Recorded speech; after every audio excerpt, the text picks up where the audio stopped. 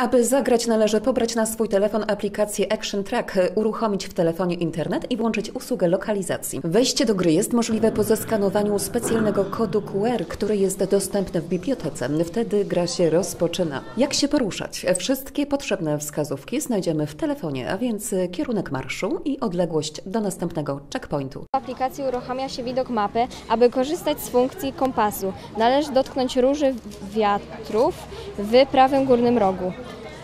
Pojawi się strzałka wskazująca kierunek, może być koniecznie skalibrowanie kompasu. Wykonaj telefonem kilka ósemek.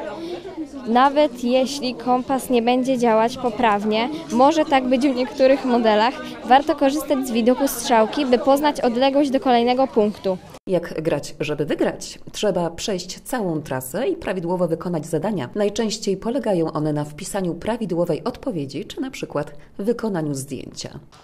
E, Pytanie jest, e, jakie znajdowały się budynki w zamku? No, ogólnie, struktury. No, struktury, tak. Mamy zaznaczone wieża, dom sądowy, kuchnia, dom Co, bramny i zbrojownia. Zaznaczoną? Co? Kaplicę. Nie. Jest. Jest? Dobra. Jest. I kaplice. Jest i tam No to parkanej baszty. Została nam kuźnia i dom wielki. W układanie trasy zaangażowali się uczniowie ze szkoły podstawowej nr 4 imienia Marii Konopnickiej w Sieradzu. Praca ogólnie wyglądała fajnie. Robiliśmy tam pytania, układaliśmy punkty kontrolne, do których trzeba było iść. No tak, szukaliśmy w różnych źródłach, czy jest to prawda, czy nie.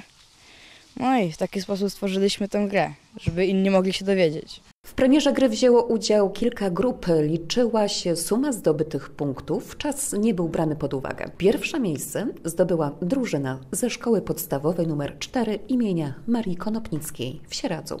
To super po prostu pomysł. Ja myślę, że jeszcze wybiorę się z kolejnymi grupami, bo tak jak rozmawiałam tutaj, przez pół roku będzie e, aktywna ta gra i przy takiej pięknej pogodzie to rewelacja po prostu. Bardzo mi się podobało i moi, e, moja drużyna bardzo zadowolona. Także wielkie emocje towarzyszyły i, i tempo, więc super, naprawdę super pomysł. Super uważam.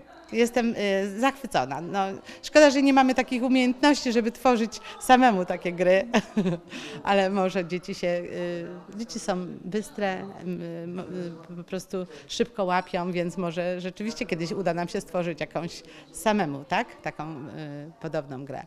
Zapraszam, abyście z niej skorzystali. Są dwie możliwości.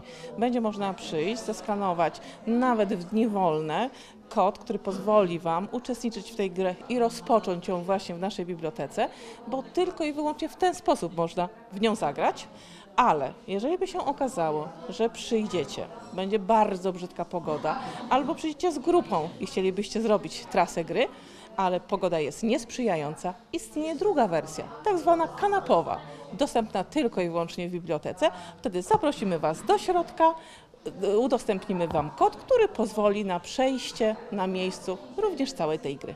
Projekt został dofinansowany ze środków ministra kultury i dziedzictwa narodowego w ramach programu Narodowego Centrum Kultury Kultura Interwencje, edycja 2022.